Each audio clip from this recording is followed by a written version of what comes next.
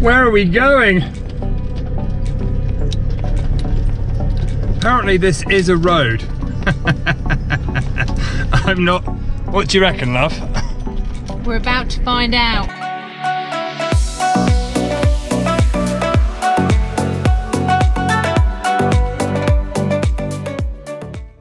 We thought we would do a quick bit of research on Bulgaria because that wasn't one of the countries that we had originally planned to go to. So we'd done no research whatsoever.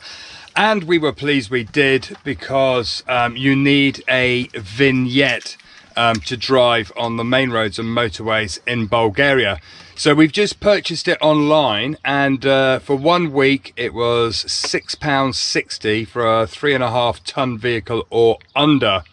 Um, another good thing we found out is that our insurance from the UK covers us in Bulgaria, so we don't need to buy an additional green card when we cross the border. So we're all good to go. Let's go to Bulgaria.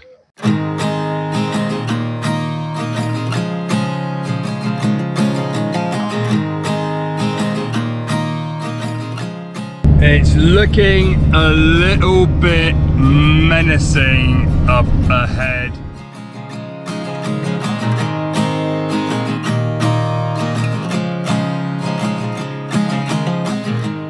This fog is crazy.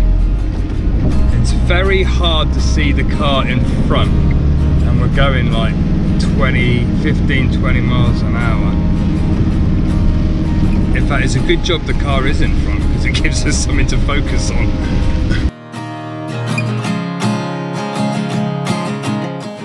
We're just coming up to the border, even though you can't see it. so uh, cameras off.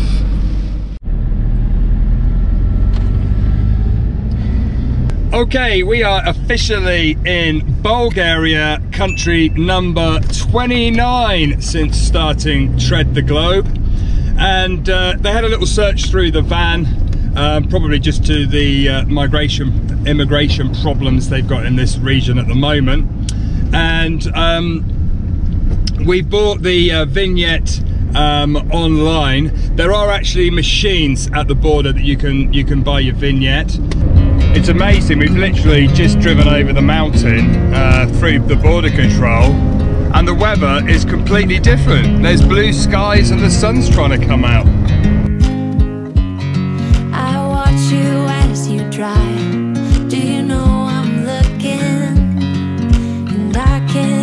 But smile. Do you know how much I love you? You put my favorite song on. I put my feet up. And we just sing along. And I can't help but feel it. As we're driving uh, through Bulgaria, we've noticed there's quite a lot of water signs by the side of the road.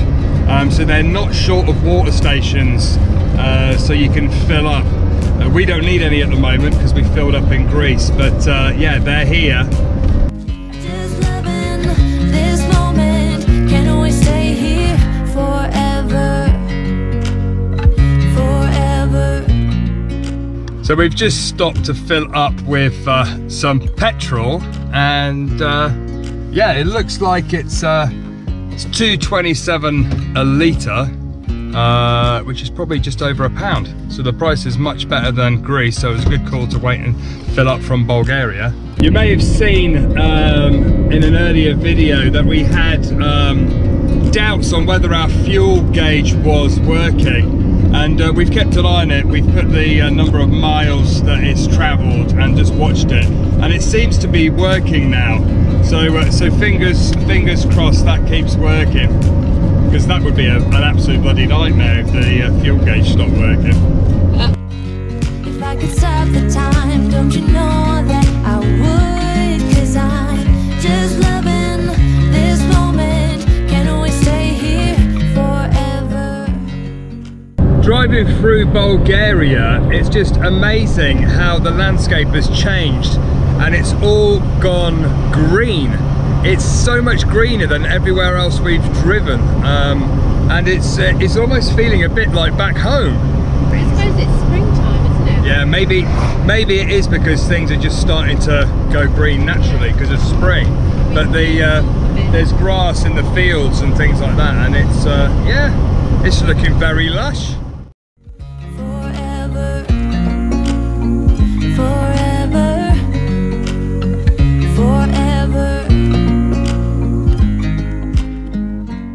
Old school tram with the wires above. I haven't seen one of those for a very long time.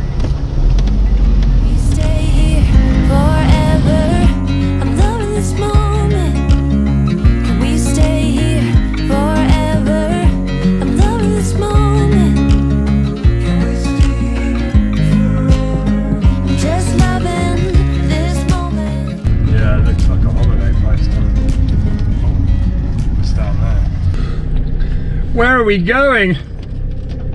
Apparently this is a road. I'm not... What do you reckon, love? We're about to find out. I'm not sure that this is really a road.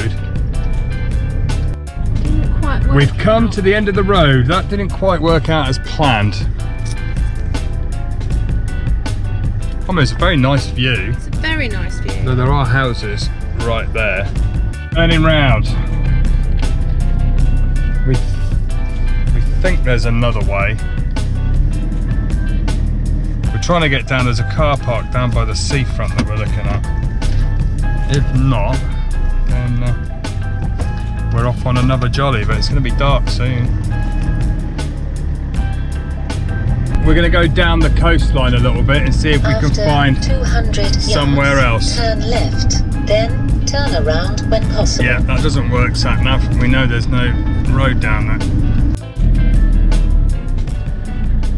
We just parked up the van and just come for a little walk around just to uh, see if we can find a more level space. Marianne's the dog lady again. Marianne's the Dr. Dolittle.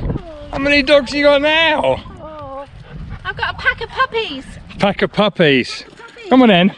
It's very strange. It's like everything's been abandoned down here. It's like we've got our own bar.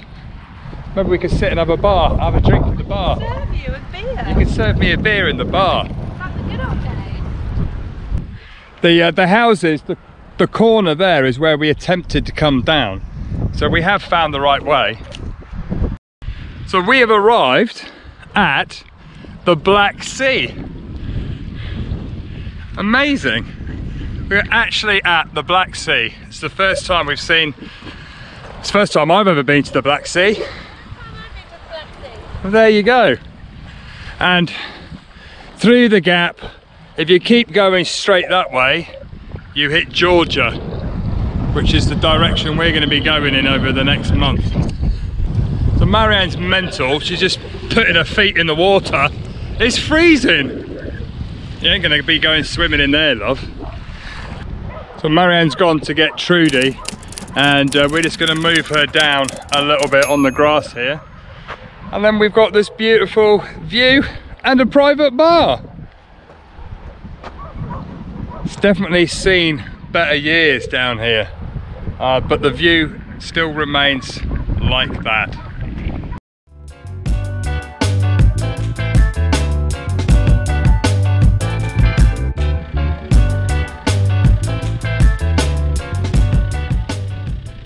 So we spent the night here last night, um, just south of Burgas, and uh, honestly, it is a really strange place. Last night, we uh, were looking around at the lights, and it's like there is a whole apartment complex behind us. And what's really weird is there wasn't one light on in any of the buildings. Um, some of the the street lights, like these little lights along the beach, were on, but there's no, I didn't see anybody there. You've just got all these abandoned bars um, down the beach, and we have seen like one kid on a bike and one car go past, but it's very strange. There is a little town opposite on the other side because there was fireworks um, late last night. it was a good night's sleep. Very quiet here, but it's a lovely uh, little cove here. Um, but just strange, like these, this bar. Um, I don't know. We were thinking maybe it all comes back to life in the summer because it is low season. Um, like there's old jet skis on the other side, but it's just, it just looks so abandoned. You know, everything just looks abandoned. You know, the roof and the, yeah, very strange. But how you can have such a complex here, there's got to be people living in it, but why aren't there any lights on? It's like really strange. At night, it's really dark. We're only spending uh, one more night tonight in uh, Bulgaria. I've spent the day making today's uh, video.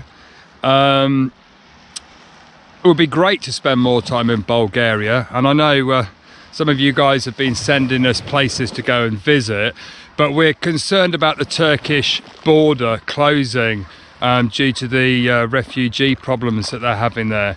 So um, we're going to head to uh, try and cross the Turkish border tomorrow um, and hope that we can get across before they end up closing it. Because if they close the border from Bulgaria, um, like they have done with Greece, we will have a bit of a problem trying to get east and into Russia.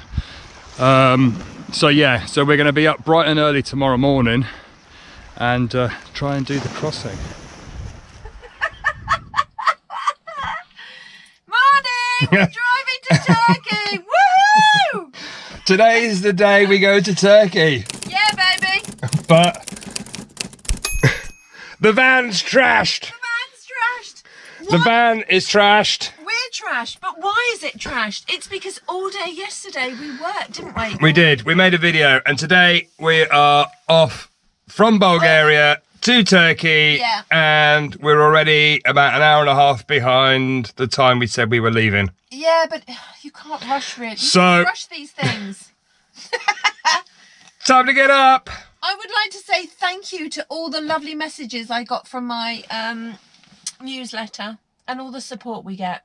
Because everybody's very worried that we're going from Bulgaria into Turkey because of all the problems in Greece Turkey border. So I want to say thank you. Ah, that's nice, isn't it? Yeah, thank you for being worried about us.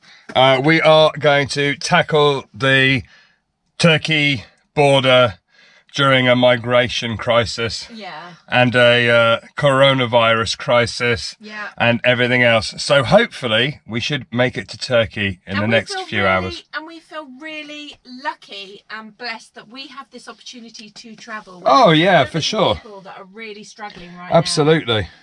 So yeah, Yeah, baby. yeah, baby. Right. Let's go. See you in a minute.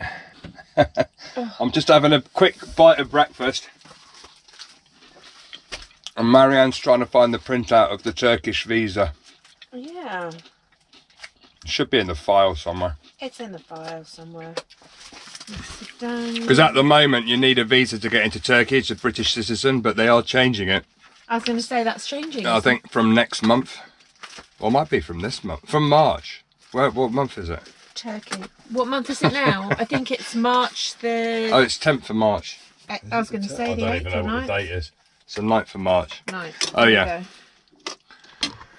There you go, Turkey. You got the visa? Uh, Yes, I can see it on the back. So we're just getting ready. We're nearly ready to leave. Um, in fact, we're later than we thought because we've just realised that Turkey is another hour ahead of us. So we're actually now three hours, going to be three hours ahead of the UK. I think we're ready. Yep, we're ready. Let's go to Turkey. Let's go to Turkey. I'm actually really excited we're changing time zones. Another one. Yeah, I'm really excited that we're changing time zones. Um, when you fly, you expect to change time zones, but when you're on a little jolly, A little jolly.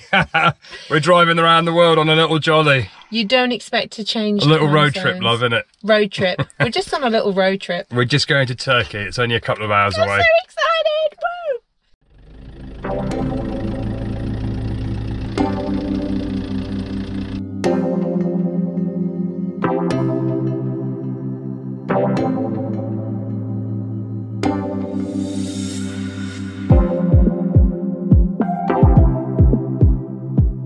So the uh, border crossing is about an hour and 20 minutes away from where we are now.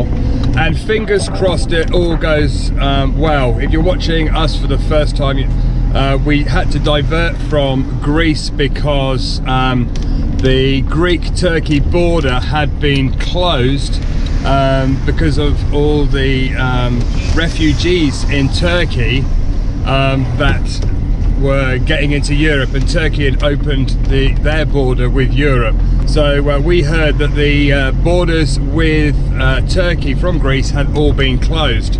So we ended up driving six hours up through Bulgaria um, and we're going to attempt to cross the border this morning. So fingers crossed um, this border is still open and uh, it all goes according to plan.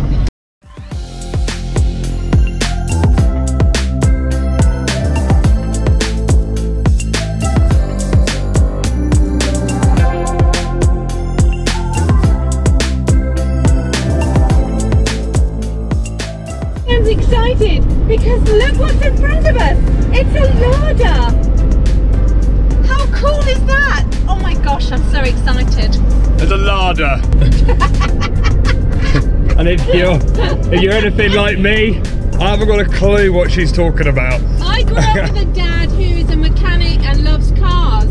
So I've just got naturally just got an interest in cars. I, I love cars. It's an old white car. It's a Lada. How can you not know what a- the name? Do you know what a Lada is? How can you not know that? Who makes I've it? never seen one, but I've just Who heard makes it? them. Lada. Larder. How can you have never? Is that the make? Yeah, it's the brand. The, the, the make, the mod, you know, it, they have different models, but how There have you you go. never heard of Lada? I'm too young, obviously. That's what it is. He's my boy toy.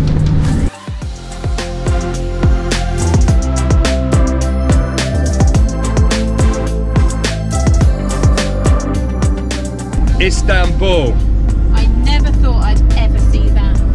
You don't see that every day. In fact, we were talking about all horses. We were talking about being anxious or worried about this travel and this adventure. And I said to Chris, no, I actually feel really excited about the adventure. But we are only five minutes from the border. And we haven't seen any officials or police or army or refugees, actually. We've just actually seen um, two officials in the woods here uh, in green uniforms.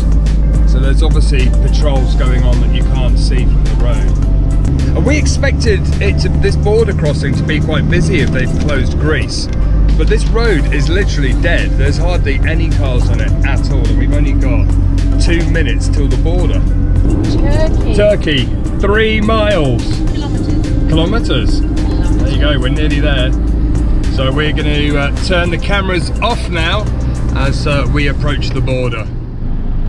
Okay, so after a bit of a long wait, we've managed to get our insurance, which is from the booth that you can see just there. Um, and now we are heading um, south uh, to a nearby town to find somewhere to sleep and get some data.